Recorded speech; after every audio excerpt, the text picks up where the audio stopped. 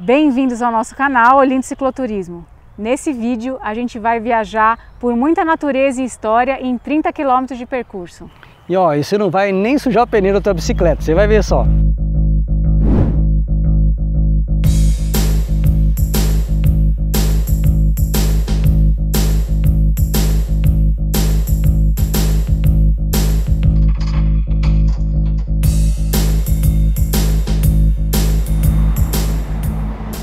Pessoal, a gente está aqui na rodoferroviária de Curitiba.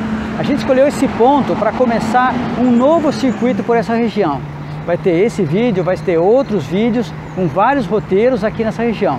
Quem tiver lá no nosso Apoia-se ou então lá no Seja Membro, vai receber todas as informações para percorrer esses circuitos. Vai ter vídeo específico contando detalhes, é, briefing e tudo mais. Conta com a gente e se você puder, entra lá e dá uma força para a gente. Bom, a gente começa pelo primeiro e único circuito urbano que a gente mapeou até hoje. E se você ficar até o final, você vai entender por que, que vale a pena pedalar por aqui. Vamos lá!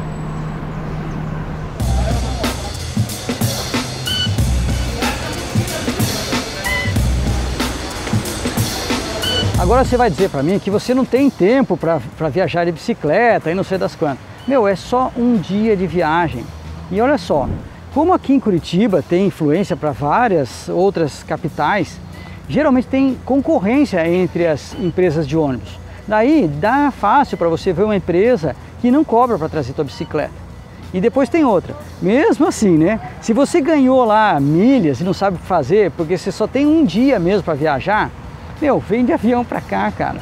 E é assim, é a mesma coisa. Você vai conseguir fazer uma baita de uma viagem interessante em um único dia.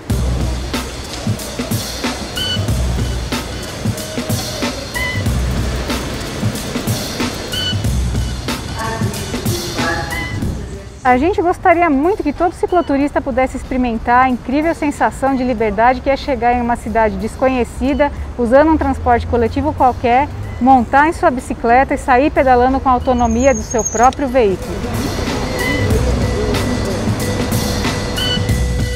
Antes de começar o circuito pelas ciclovias, a gente pega um desvio para visitar um dos cartões postais mais famosos da cidade, o Jardim Botânico.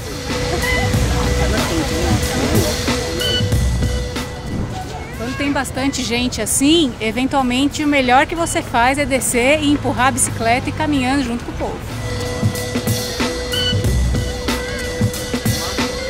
Aqui no Jardim Botânico de Curitiba tem uma lei bem esquisita, porque o Código de Trânsito fala o seguinte, o ciclista desmontado empurrando sua bicicleta é considerado como pedestre. Só que aqui eles decidiram que não. É o município que pode legislar quanto a isso também, né? ele pode pode fazer alguma exceção. O fato é que nesse parque você não vai entrar com a tua bicicleta. Então, meu, você tem que estar meio preparado para isso. O que a gente costuma aconselhar é o seguinte, é, se você está com todo o teu equipamento aqui, e se ele é um bikepack, o que vai acontecer? Você vai ter um monte de tralha para carregar, para você entrar no parque, não ficar aqui. Você pede para alguém cuidar, não sei como é que vai ter assim a situação. Hoje é domingo, então tá cheio de gente aqui. A gente tem uma sacolinha que a gente vai botar tudo dentro dela, vai tirar todas essas coisas, vai botar tudo dentro dela e sair carregando aqui né, pelo parque. Outra coisa que é importante você levar, mesmo que você está indo para uma região mais tranquila, é tranca, né, meu? Tem que trancar da bicicleta, porque como é que vai largar aí? Quando você for trancar da bicicleta, lembra de passar o cadeado nas partes que são retiráveis da bicicleta. E lembra de passar o cadeado, a corrente, alguma coisa, numa coisa fixa, que o cara também não vai levar a bicicleta inteira embora. Roda de trás com quadro, roda da frente com quadro e quadro com o equipamento fixo aqui para o cara não levar embora. O nosso cilim, ele tá, ele é bem chatinho de se tirar. Quem tem quick release, eventualmente é bom passar a corrente por aqui também.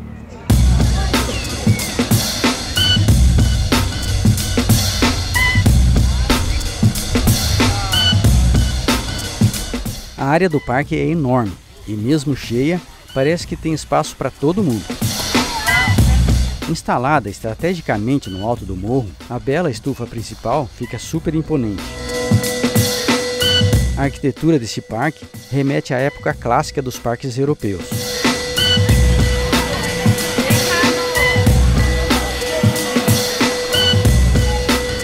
Uma vez dentro da estufa, ela parece pequena para comportar a riqueza da nossa biodiversidade botânica. A vista no topo da estufa principal pode levar os visitantes ao êxtase.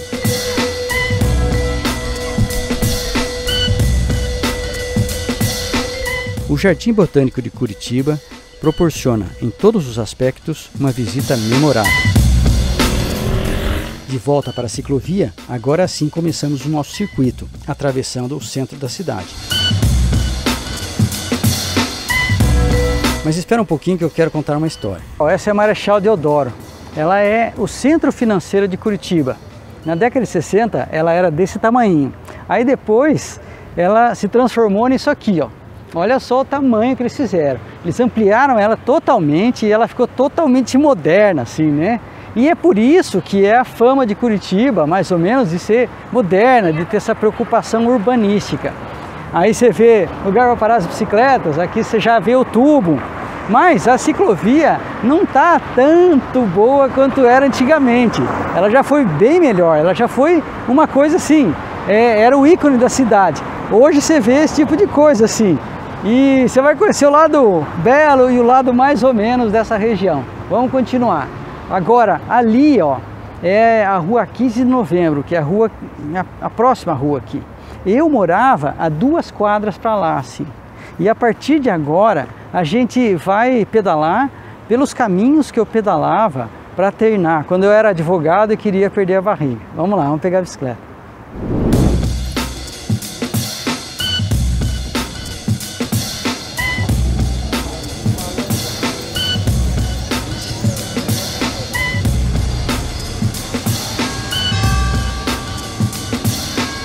No domingo é mais fácil pedalar pelo centro e conhecer seus monumentos e suas gentes. Fique atento para observar não só os prédios históricos, mas também os detalhes das fachadas preservadas, até mesmo nas lojas da Rua 15 de Novembro. Seja quando for que possa vir para cá, nada pode ser mais prático do que conhecer o centro em cima de uma bicicleta. Somente em raras exceções a bicicleta não ajuda muito.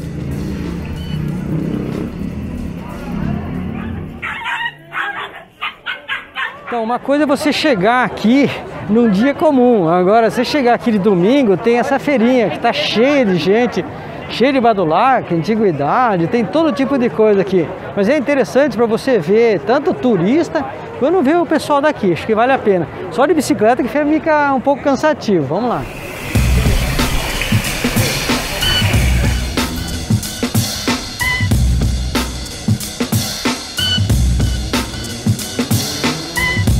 Ainda no centro, a gente atravessa o chamado Passeio Público, o parque zoológico mais antigo da cidade. Criado em 1886, seu imponente portal é uma cópia do portal do Cemitério de Cães de Paris.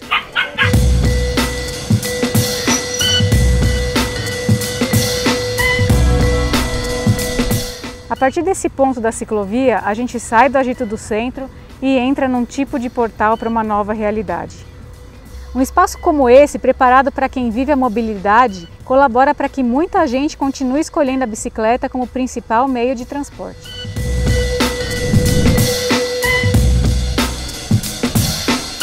Passando pelo centro cívico, a própria ciclovia nos mostra os principais prédios públicos, a prefeitura, o palácio do governo e tribunais, mas também nos mostra muita arte. Um pequeno desvio discutindo essa curiosa criação de Niemeyer, que ficou conhecida como Museu do Olho. Você já deve ter visto essa imagem em algum lugar. O Museu Oscar Niemeyer é um reconhecido museu de arte que vale a pena visitar.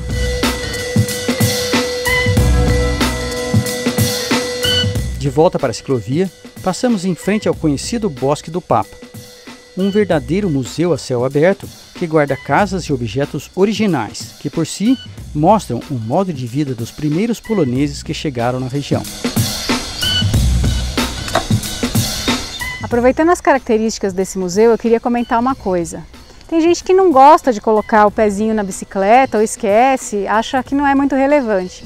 Nesse caso, a gente está num museu a céu aberto, e de forma alguma você pode encostar sua bicicleta em nenhum prédio que tem aqui dentro. Então nunca fala que um pezinho não serve para nada e lembra de instalar um na sua bicicleta antes de sair para uma viagem.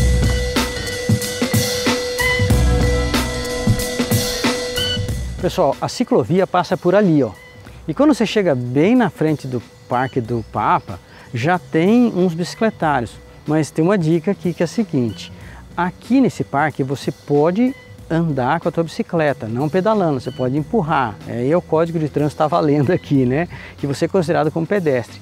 Mas se você preferir, eu acho que é melhor você ir para um bicicletário que tem dentro, que é esse aqui, ó, dá uma olhada. Aqui, ó, você pode deixar a tua bicicleta com mais segurança, porque ali já é o pessoal da polícia. Então você está bem em um lugar assim, muito mais tranquilo do que a ciclovia que passa um monte de gente e não sabe nada. Anota essa dica. De todas as peças do bosque, a estátua de João Paulo II é a que me causa maior estranheza.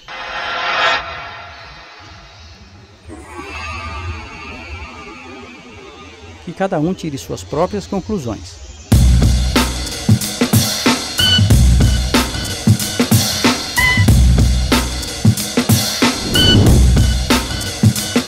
Mais umas pedaladas, a gente atravessa uma ponte e bem ao lado da bicicletaria do Américo, uma surpresa. Ô Rafa, você já chegou tão perto de uma garça assim? Olha, nunca cheguei. Que bonitinha. Agora sim, depois de atravessar essa rua, chegamos ao Parque São Lourenço.